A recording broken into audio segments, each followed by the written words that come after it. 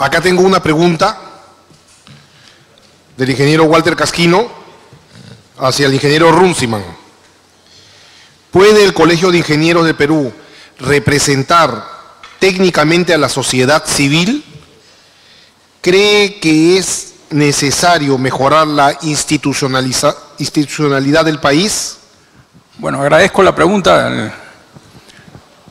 Lo primero que tenemos que ir cambiando en el chip mental es que nosotros no solo somos la sociedad civil, nosotros somos capaces de tomar decisiones y más bien nuestros parlamentarios deberían aprender a escuchar lo que nosotros decimos, para lo cual nosotros también tenemos que hacer un esfuerzo para que desarrollemos las ideas y las propuestas que les solicitamos que las apliquen. El parlamentario es un representante nuestro, así dice en el papel. No es una persona que se va a adueñar de un cargo y de un sueldo por un periodo gubernativo. Es una persona que debe ser humilde, que debe ser modesto y debe saber que es secretario de la ciudadanía. Y ese concepto no creo que esté todavía, porque ellos mismos se dicen padres de la patria. ¿no? Eh, la otra pregunta, ¿cuál era? la tienes? ¿Cree que es necesario mejorar la institucionalidad del país? Evidentemente, ¿no? La institucionalidad del país eh, es un requerimiento porque durante mi exposición hemos hablado de la comparación entre empresas y Estado. la empresa es una institución y si decimos que el Estado eh, es análoga a la empresa solo que de una magnitud mayor y donde todos los ciudadanos estamos, eh, somos los propietarios de ese Estado, es lógico que la institucionalidad funcione bien. Recuerdo una exposición eh, antes, en el momento en que yo llegaba a, esta presentación, se hablaba, por ejemplo, de cambios en la mentalidad de cómo debe funcionar la Contraloría. Eh, la propuesta es muy saludable. La propuesta es que el Contralor no sea una persona que todo el tiempo está pensando en castigar a las instituciones del Estado y esto lo aprendí yo por experiencia propia a través de un hecho eh, micro, digamos así. El micro fue que mi padre en algún momento fue inspector general de la Marina. Y para ser inspector general de la Marina, había tenido que pasar por la administración de prácticamente toda la institución, de tal modo que sabía distinguir claramente entre eh, el error que puede cometer cualquiera y que hay que ayudarlo a corregir y no convertir todo en un castigo. Y lógicamente cuando hay eh, dolo, lógicamente hay que tomar medidas contra el dolo. Pero la función fundamental de la Contraloría es como parte de la institución del Estado, es ayudar al Estado a que mejore y no estar generando temor en la gente para estarla castigando todo el tiempo. Creo que con eso un poco contesto la pregunta. Muchas gracias, ingeniero. El ingeniero Héctor Martínez, dirigido al ingeniero Félix Delgado. ¿Cómo evaluar los contratos más grandes en el Perú, minería, pesca, concesiones, los cuales provocan, entre comillas, tener candados que no se pueden modificar?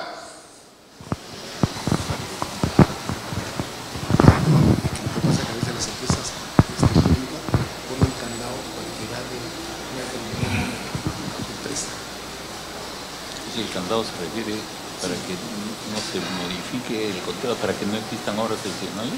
Eso es lo que...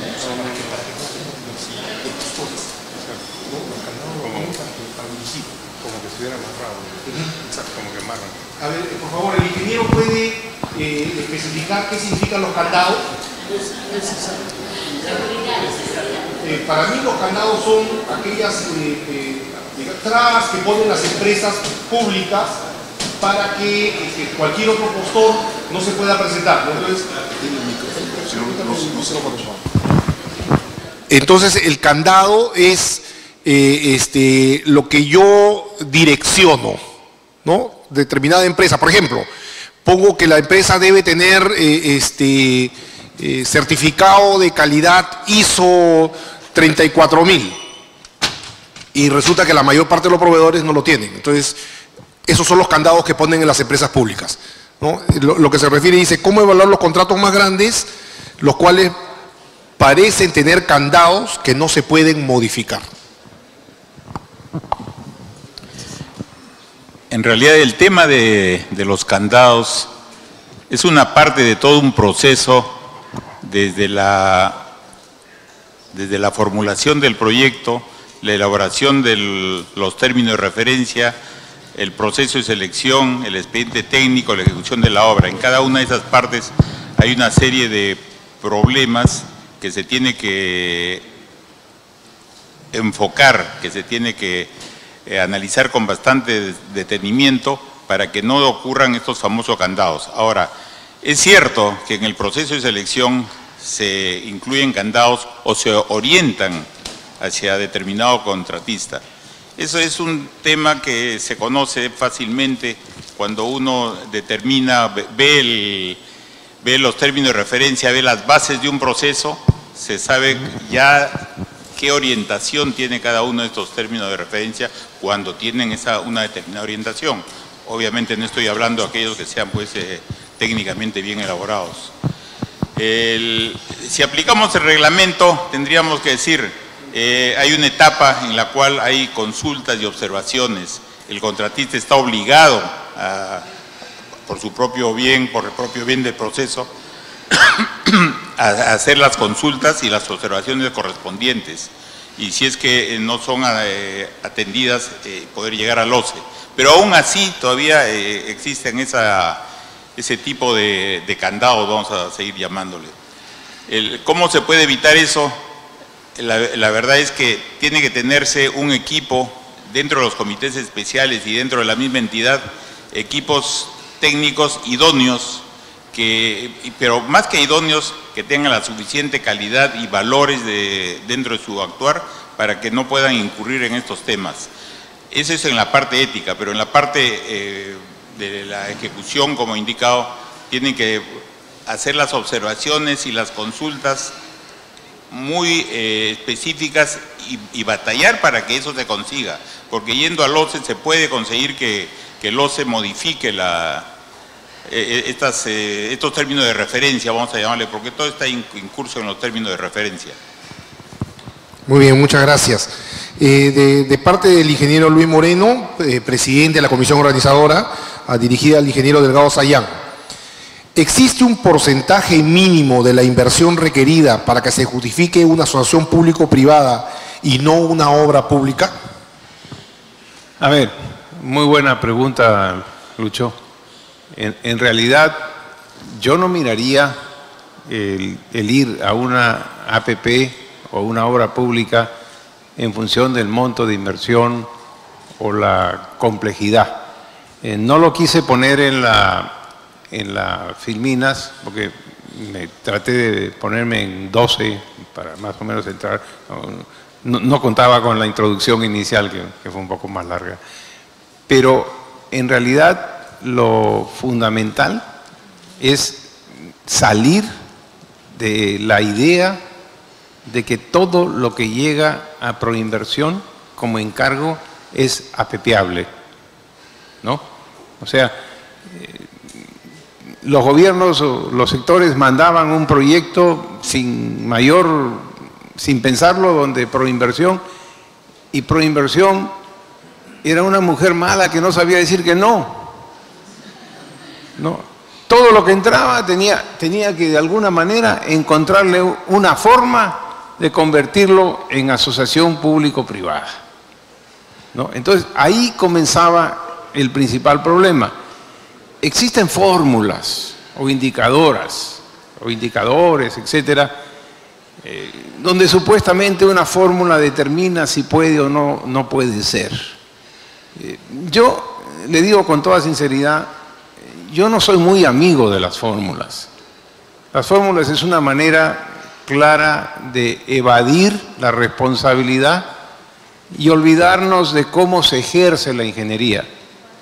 La ingeniería se ejerce fundamentalmente basada en tres cosas y eso es lo que lo hace diferente a muchas profesiones. Conocimientos, experiencia y criterio profesional. Nosotros hemos estudiado 6, 8, 10 años, maestrías y 50 mil cosas, para que ante un problema tengamos lo que los americanos llaman el gut feeling. El gut feeling es la idea de que ya sabemos cuál es la solución al problema mejor que nadie, pero nos obligan a, hacer estudios de factibilidad, SNP, que ya se derogó, pero que lo que lo ha reemplazado no es mejor que lo que se derogó, porque se olvidan de la ingeniería.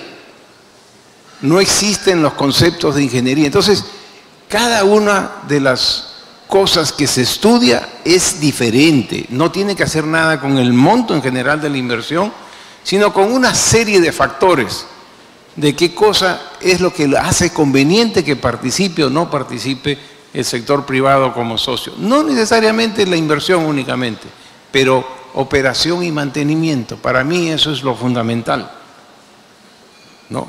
Desde ese punto de vista concesionamos carreteras, puertos, aeropuertos, hospitales, prácticamente todo es concesionable, pero encontrando la receta dentro de esas nueve que les he puesto en la filmina, no todo es un modelo único. No es una aspirina que cura todas las enfermedades. Muy bien, una pregunta eh, del señor Walter Casquino para el ingeniero Delgado. ¿Sería posible licitar la ingeniería primero y luego la obra? Ah, para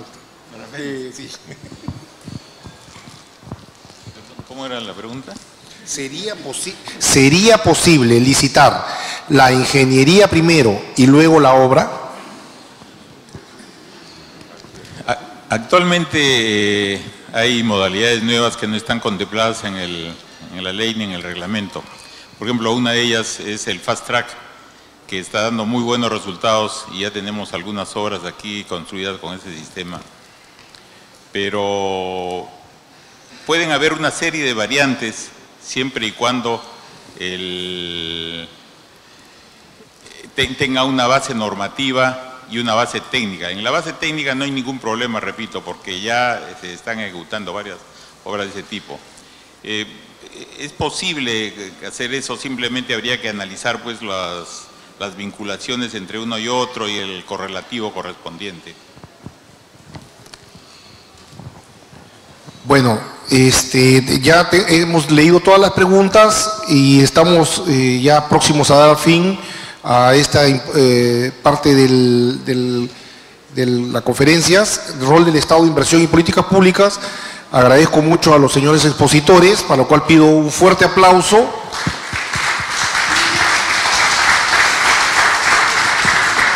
Eh, la comisión organizadora quiere rendir también un homenaje a cada uno de ellos, porque el hecho de intervenir acá es parte de su valioso tiempo. Eh, el ingeniero Luis Moreno eh, se, va a acercar para eh, este, entregarle sus presentes. Bien, muchas gracias, ingeniero Omar Valdés. Muchas gracias, ingenieros que han estado exponiendo en esta casi última mesa de esta tarde el ingeniero Isaías Quevedo de la Cruz, ingeniero Raúl Delgado Sayán, ingeniero, ingeniero Guillermo Runcimán y el ingeniero Félix Delgado han estado participando en esta, en esta mesa. Eh, nos indican que hay de cuatro a cinco minutitos, hay un riquísimo café que nos están esperando en el comedor.